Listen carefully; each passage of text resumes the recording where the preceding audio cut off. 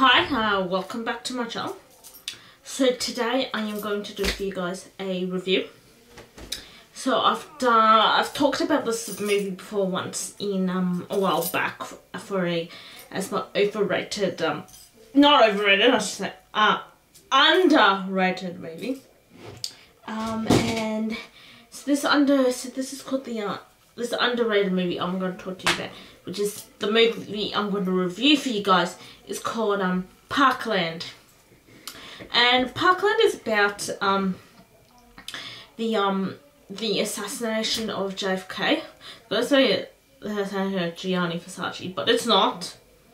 Um, it's on JFK. That is the um, he was the president of America who got assassinated. You all guys will know um, the case by now. Um, and it shows the days after his assassination and how and what happened to the killer, who the guy who shot him, and stuff like that.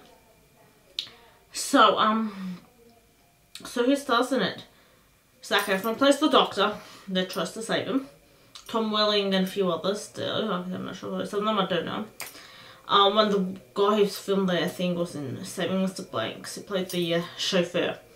That's another thing. Um, so I thought when I heard this movie is a very good, very, very, very, very well done. Very well made uh, movie that um that um made um it, it, it has all the drama you want, all like you know the action when it's needed. It's just all round. It was excellent excellent. I couldn't stop watching it when I was um viewing it that um the other day.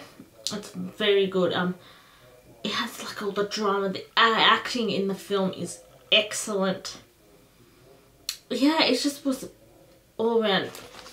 Because there was like you know that shows you like the um the issues of um JFK. I like you know it talks about like you know the politics and there's all the politics part of it. But overall it was it was an excellent movie. That's what I'm gonna say. Very excellent movie.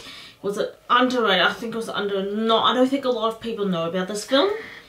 So which is why I think it's really underrated and underdeserved.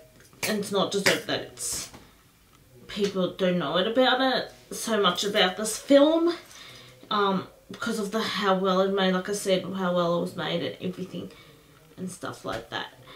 So yeah. So now time for some quick facts.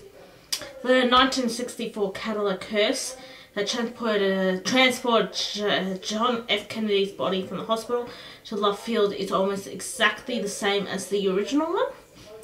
Down to the license plate, which was W6, WC609 the original sold at the Barrett Jackson auction for auction for $160,000. The movie was released on the 22nd of November 2013, exactly 50 years to the day after the the event occurred. Um, Abraham Zapruder films while standing on a column with his secretary Marilyn, Marilyn, I can't talk today, Sitzman standing near him. In real life, um, Zapruder suffered from vertigo, and his sec secretary stood behind him, um, holding on atop the column to help him with the ballots.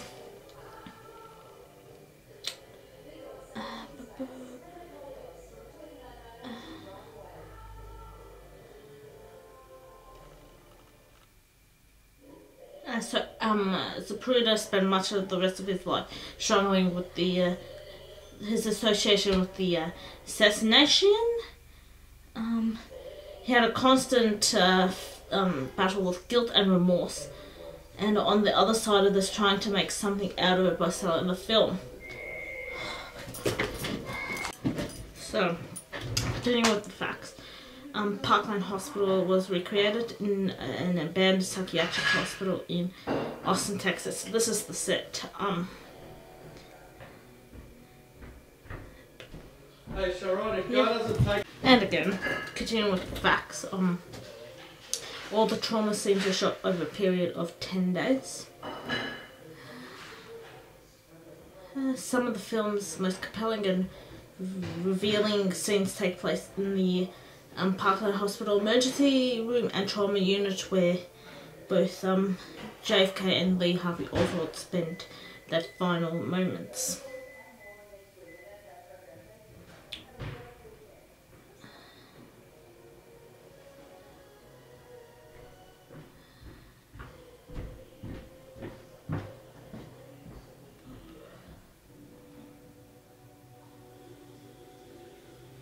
So yeah, that's all for my video for this week. I'll see you next week with a new video. Bye.